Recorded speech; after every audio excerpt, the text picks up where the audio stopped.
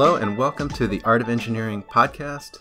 I'm your host, Chad Harden, a structural engineer in Irvine and chair of ASE Orange County Branch Structural Engineering Institute.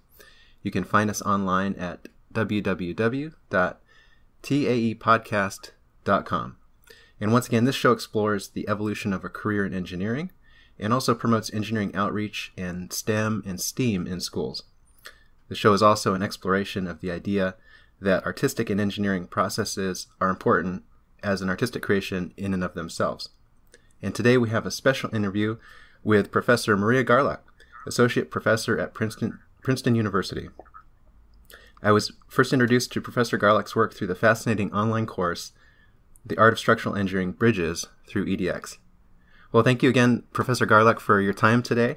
Uh, welcome. And uh, thank you. Yeah, I wanted to say I really enjoyed the. Actually, took the course, the Art of Structural Engineering Bridges, and it was really fascinating.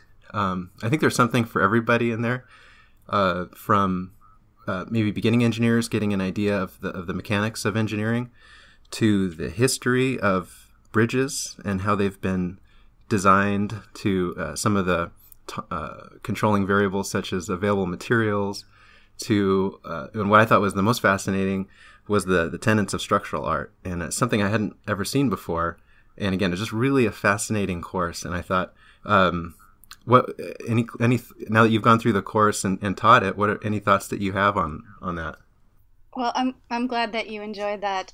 The course was uh, based on the scholarship of David Billington, a, a professor emeritus here from Princeton University, and um, and I'm a, I guess a big fan and believer in what he's teaching. This idea of structural engineering and pure engineering being a form of art that's different from the art of architecture. Right. And um, I really enjoyed putting together that online course and uh, sharing that idea with the rest of the world.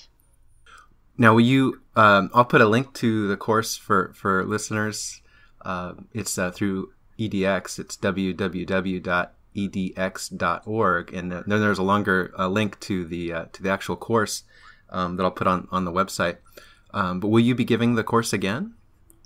Yes, actually, we will probably launch that same course on bridges uh, next winter, probably around February, and followed by another version of the same course focusing on vaults, long span roof structures, and okay. then a third version of it based on buildings. So we're planning uh, to relaunch the same one once again, plus two new ones to follow. Okay. Oh, that sounds very fascinating. And you have a really interesting background. I was reading through your CV. Performance of, of uh, I think, welded connections or moment frame connections to fire, performance of fire um, in buildings, to a lot of the, the, the, history of art, both for buildings and bridges. I wonder, how did you um, how did you get into so many different interesting areas? right. Well, at the core of everything is structural engineering. So I, I just love structural engineering as a whole, being bridges or buildings and how to engineer them, how to design them. And um, this fascination started when I was very young, probably on the order of I don't know, 10 years old. Okay. So uh, I grew up near the New York City area. So I was often seeing and crossing over these long span bridges like the Verrazano Narrows, which is the structure that I call the inspiration for me to become a structural engineering. I was fascinated with the Verrazano. Okay. And then entering Manhattan, um, the original Twin Towers, for example, and I would stand at the corner of these towers and look up and wonder how do you build something so tall and just so straight.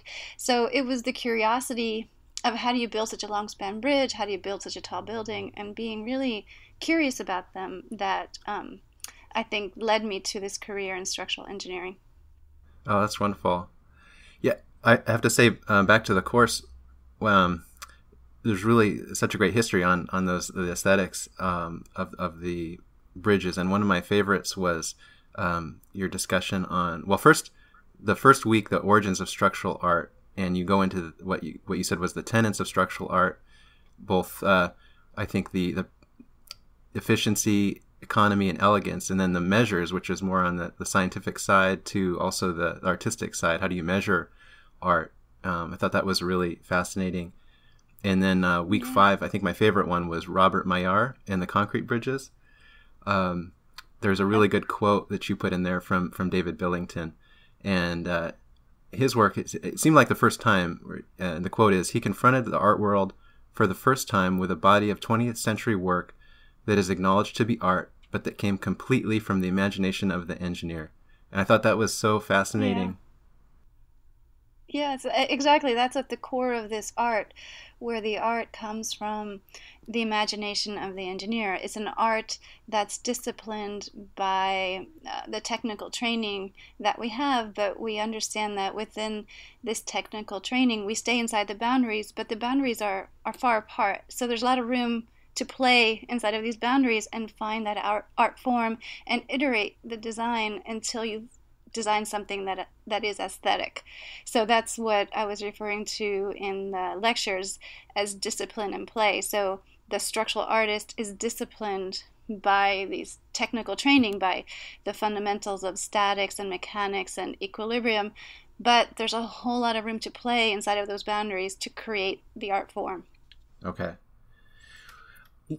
Something I've been struggling with is um, that that process, that artistic process, and um, the engineering process as we as we go through and, and design something. At, at some point, the design almost becomes a language where you're so familiar with the idea in your head about what you're doing, and then yeah. you put that those thoughts into paper on you know for the calculations that we have to combine for designing a bridge or a building, and sometimes the the sketching of the of, of what we're doing is or the abstract thoughts that we're trying to to uh, that are going on inside our head as we're doing the design really creates kind of an, an eloquent sketch. And how does that can that be defined as as art? The process of engineering or either the process or the the, the not the deliverable which would be the plans but rather the calculations themselves or or the sketches that we do can that be defined as a, as an artistic process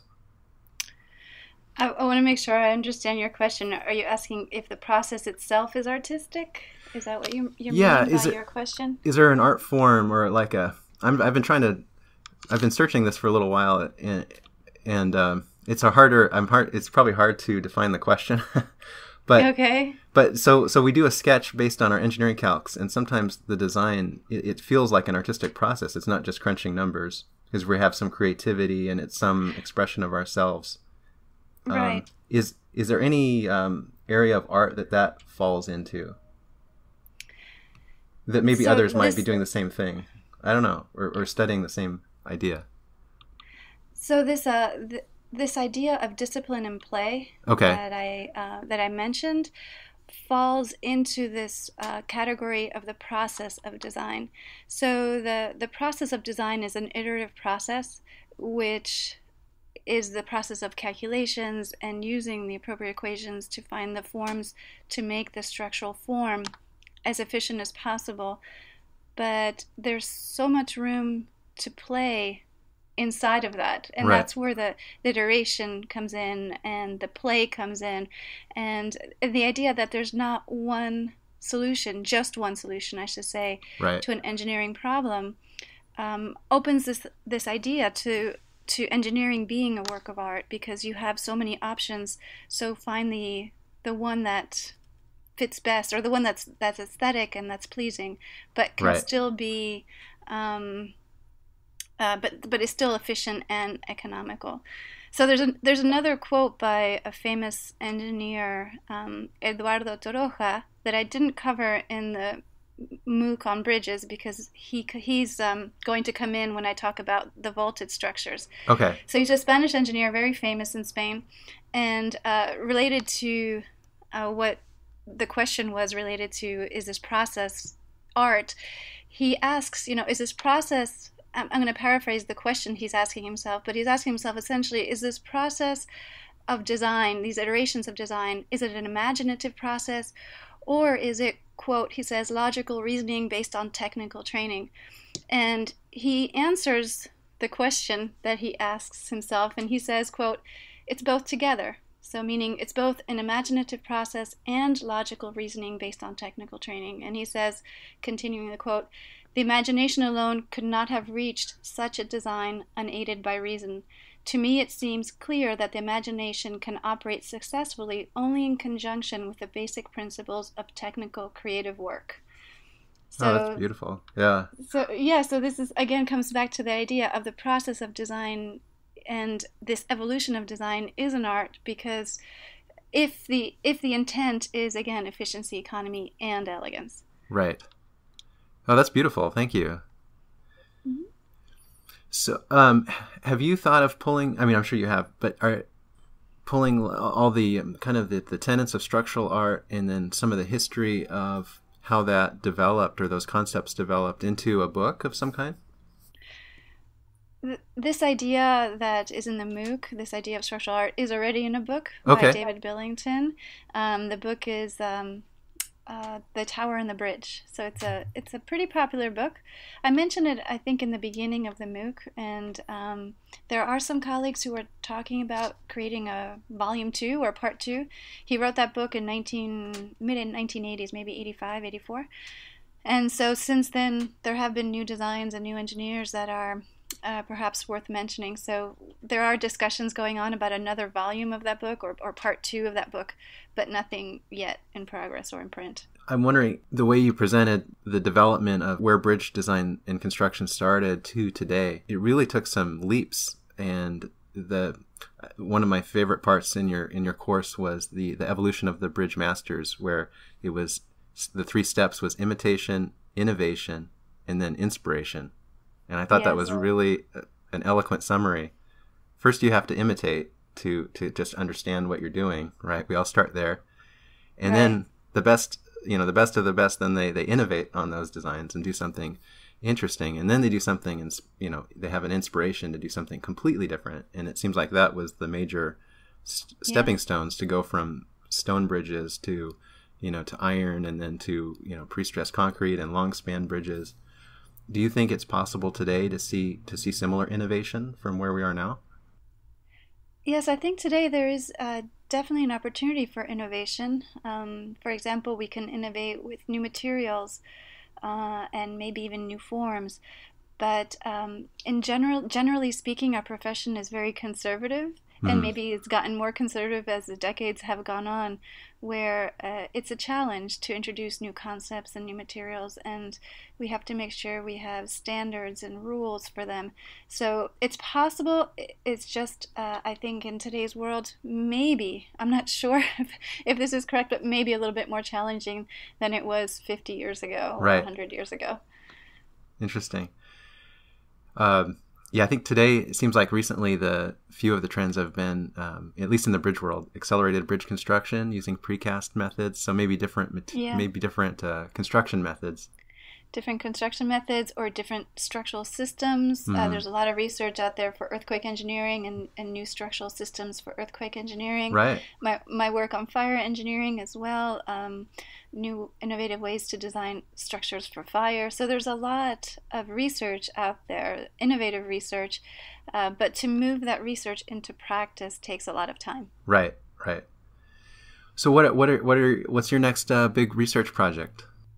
my next big research project, uh, I will probably continue my work on, on structure fire uh, interaction. I'm looking at um, stability of plates. So again, sticking to the the uh, structural engineering world. Again, mm. sticking to my passion and what I love the most, and and working and talking with practicing engineers who um, are really at the frontier. They are the ones that are uh, the ones designing. So keeping my uh, my one foot on that ground to hear what's going on and hear what the needs are is important for everything I do. So yeah, um, that's a good point. You you actually you got your um, your undergrad and then your master's and then you worked um, in practice for some time and then you went back to uh, get your doctorate and then you've done all these wonderful things. Can you talk about the, the differences between your your um, experience in practice as well as in academia? Yes, I could talk about my experiences. Um, and this career path that I took wasn't something I had planned. So, as I said, when I was 10 or 12, I wanted to be an engineer and I wanted to design something either super long or super tall. And so, my uh, mm, the universities I attended uh, and going for a master's degree was part of that plan. So, after the master's degree, I worked for Leslie Robertson in New York City, where I had the chance to design some really tall structures and, and some that weren't tall but were complex. So mm-hmm. it was it was a challenging um, work environment, which was wonderful. I really am grateful for the those years that I had practicing and actually designing structures structures that were built. So it was really a wonderful experience. Uh, while I was there being a designer, I still had in my mind the experience of a master's student where I had the opportunity to do research, um, something that was required for this master's degree, but nothing that, again, I expected to like so much. And I also had a little bit of teaching experience as a as a master's student. Again, something I didn't expect to like so much.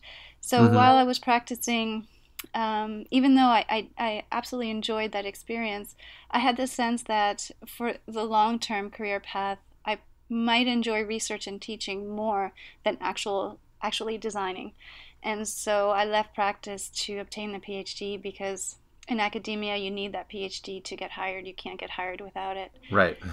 So I went, uh, I obtained the PhD, and then I came right from the PhD to Princeton University. Oh, wonderful.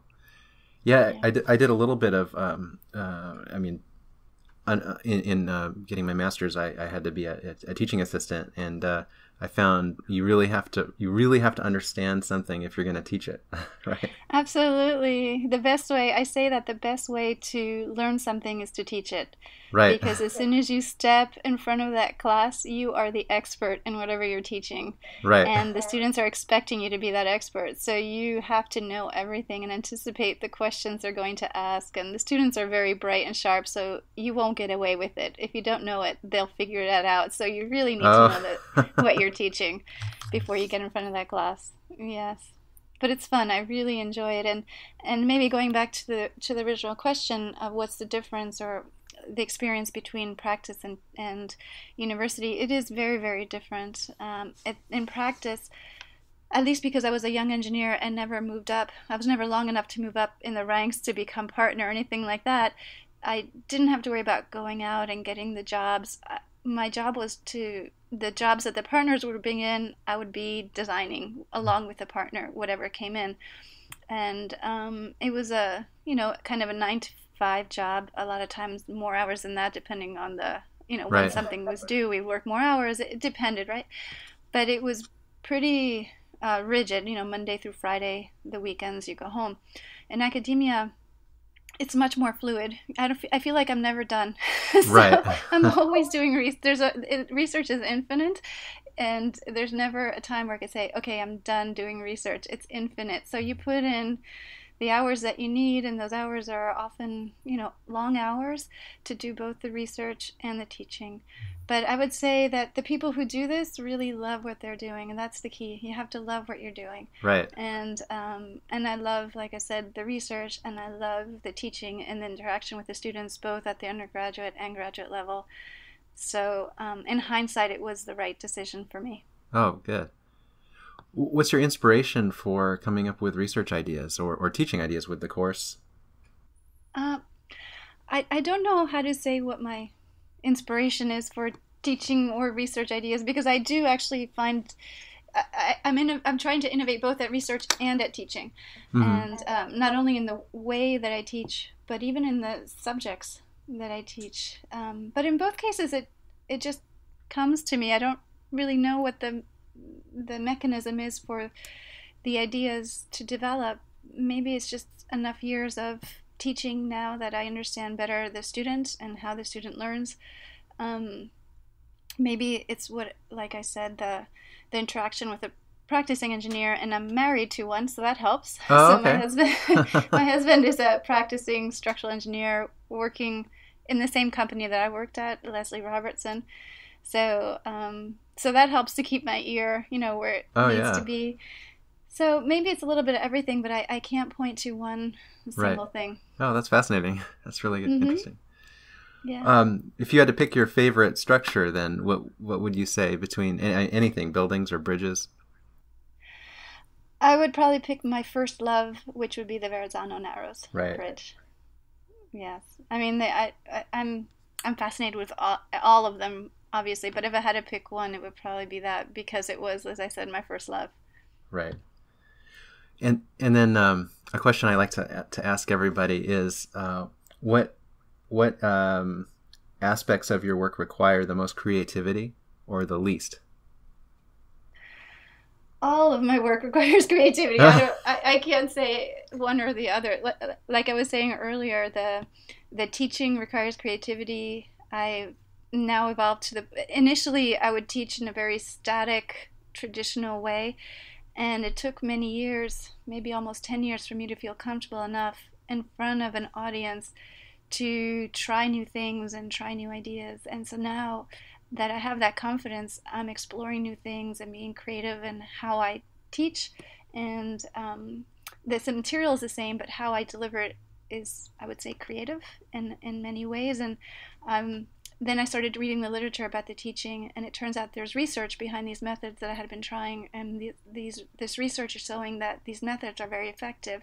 Okay. So, um, so there's definitely creativity in, in the teaching and also in the research. So for me, the research that I do, I like to move to different places of research. Uh, I like to find new pockets of research that's needed, and I think that's the biggest challenge for a researcher is to find what are the research needs, and that takes sometimes creative thinking and um, redefining oneself sometimes. So, and mm. I find that also very exciting. Can you talk more when you say redefining yourself? Um, how, do, how does that relate to, to what you're doing? So, redefining myself in terms of research means trying a new research area that maybe you're not expert at yet. When I came to Princeton, I um, my my expertise was in earthquake engineering. My PhD was structured around earthquake engineering of steel buildings. And when I came to arrived at Princeton, I wanted to continue this work, but I also wanted to find my a path that was mine and not just mine and my advisors from right. my PhD study. So that took a little bit of reinventing and studying and learning something on my own, and that was the fire engineering that uh, that I do now. Oh, okay. Uh, so that's what I mean by reinventing. I came here in 2002. It was right after 9/11, and it was very clear that we didn't understand well how structures respond in a fire scenario, massive fire scenarios, and I wanted to contribute to that knowledge. So I learned uh, this material. And uh, so that, that kind of evolution of learning new topics uh, and not being afraid to learn something new. Right. That's that's that's very uh, very interesting. I think it, it's probably very um, sometimes scary or, or and also obviously challenging when you reinvent yourself a little bit.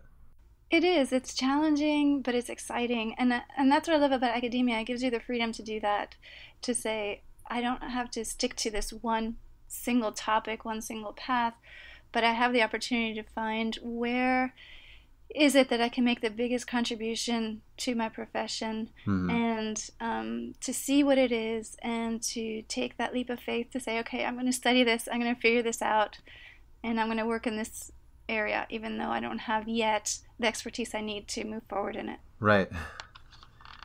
And it seems like academia is a way, uh, an area where you you can really um, devote yourself to improving improving um, the industry or community in, in really aggressive ways like um, you know having the passion to to improve fire safety you know you can really just dive in and that might be harder in practice that's right.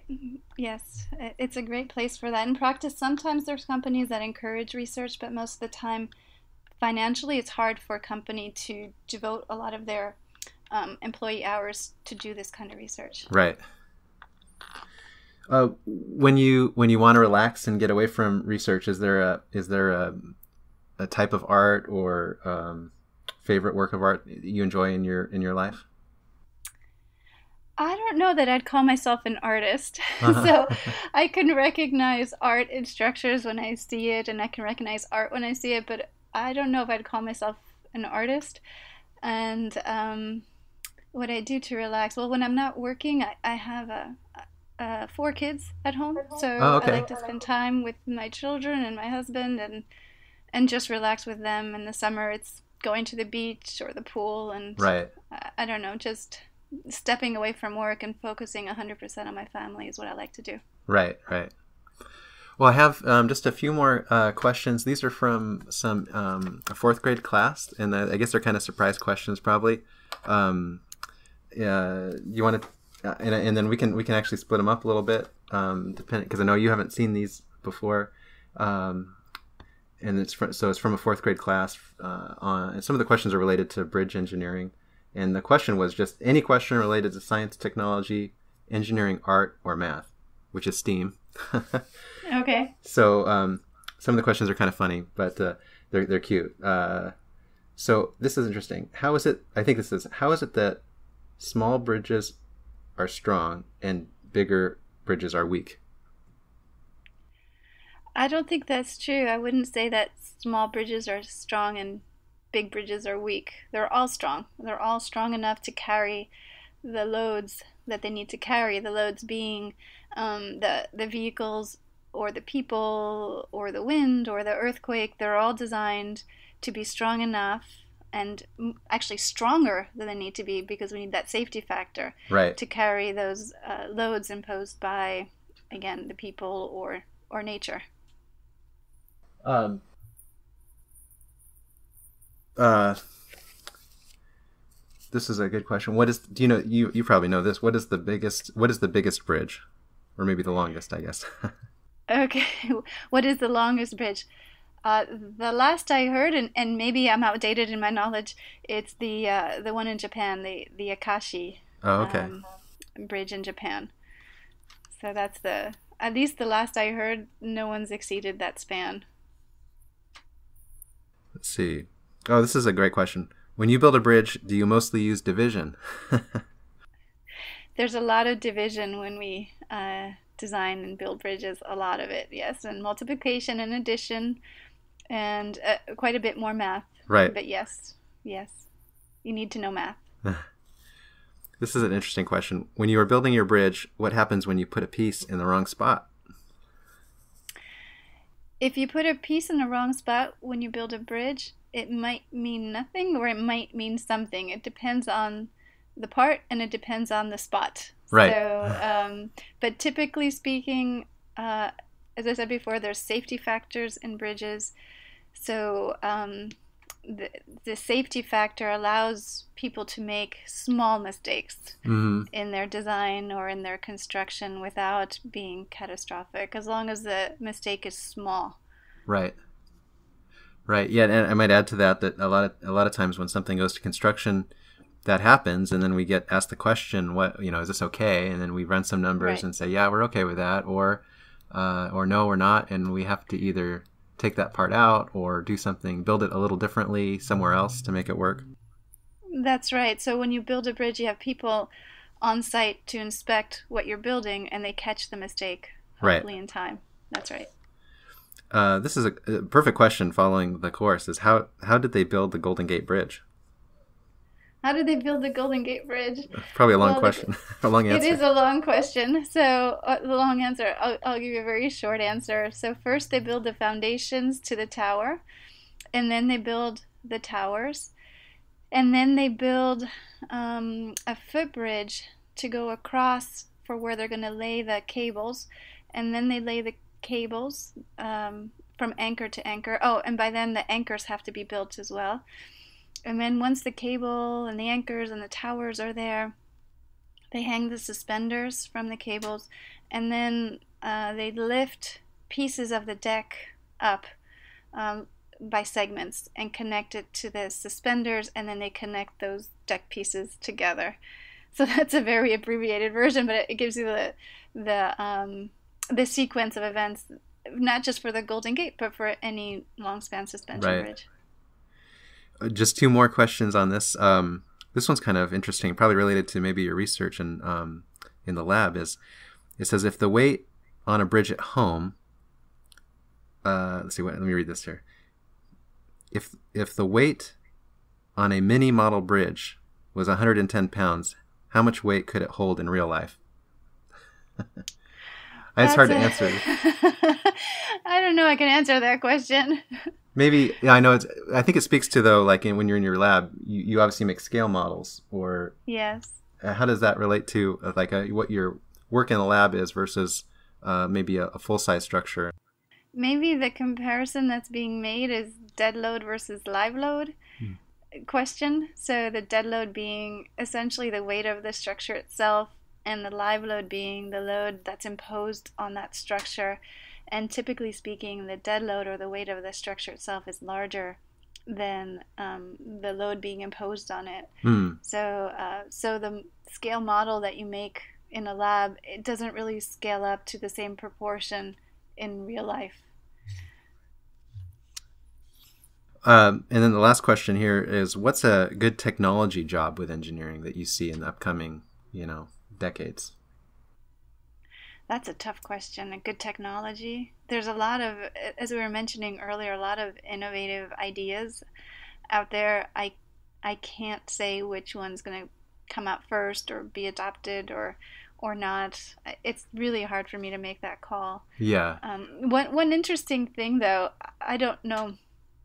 This is going to be um, hard to implement, but one really interesting innovation when I asked in the in the MOOC for the audience to um, show something, a new material or a new way to build a bridge, someone put up an image of a 3D printer, so a 3D printed bridge, mm-hmm. which I thought was really clever. I didn't know that you could 3D print a bridge. It was obviously a very short span, but I thought that was very clever, the idea of 3D printing of bridges. I think, that, yeah, that's going to be really interesting. I know there's ideas yeah. out there for s- printing with steel and, and maybe even concrete. Um, yeah, yeah, yeah, That would take a lot of different disciplines, I think, to come together, from mechanical right, engineering to computer uh, computer engineering and software engineering. a lot of things would have yes, to happen to make that a viable future technology. Yes. Well, thank you so much, um, Professor Garlock. I, I, really appreciate your time and. Uh, you're welcome. It was a pleasure. Yeah, thank you again. All right, you're welcome. And then I'll post a link to your uh, website. Um, I have it here too, just for, for people that are interested in your work. Um, it's Garlock, G A R L O C K, dot Princeton, P R I N C E T O N, dot edu. And again, thank you for listening to The Art of Engineering and our interview with Professor Maria Garlock.